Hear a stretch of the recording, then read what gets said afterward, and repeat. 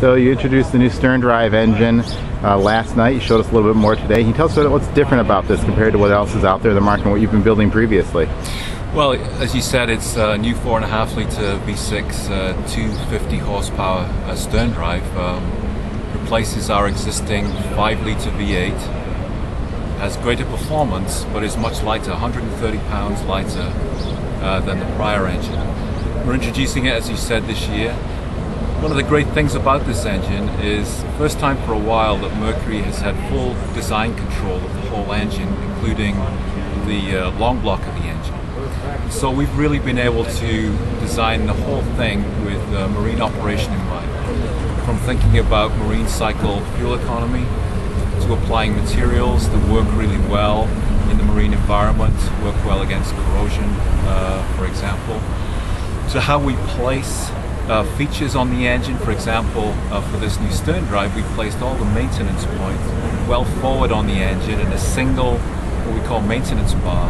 So the, the uh, user wanting to perform maintenance never has to go past the front side of the engine. We've also raised up on the engine any components that might be sensitive to bilge water, for example. So, you know, having full design control of the engine gives you uh, an opportunity to do some of the things that we've done for a long time on outboard, but we've always had that design control, but have been more limiting for us, uh, you know, constrained on stern drive because we have, uh, uh up until recently, been using uh, third-party automotive uh. A lot of features for noise and vibration as well that work really well for us. One of the things we've wanted to do for a long time is turn the throttle body uh, to the rear of the engine, facing away from the operator ear, so that quietens down the engine and adds to that overall kind of refined feel of the product. That's something you, uh, it's more difficult to do on an automotive-based engine, but we could now introduce. So we'll be assembling uh, this new engine in-house fully, including the long block. Uh, we've introduced um, brand new assembly line with all of the latest quality control features.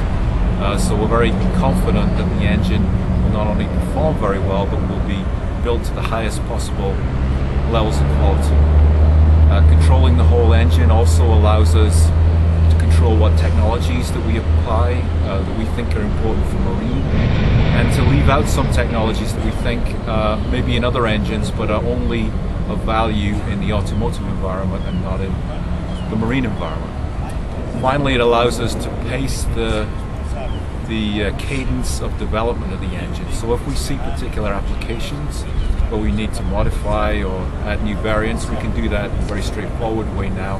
The whole thing is really completely under our control, as it has been, uh, and we've enjoyed that situation on outboard uh, for a long time. So kind of a new era for Mercury, having the same level of design control on, uh, on our cruise product as we have done historically on outboard.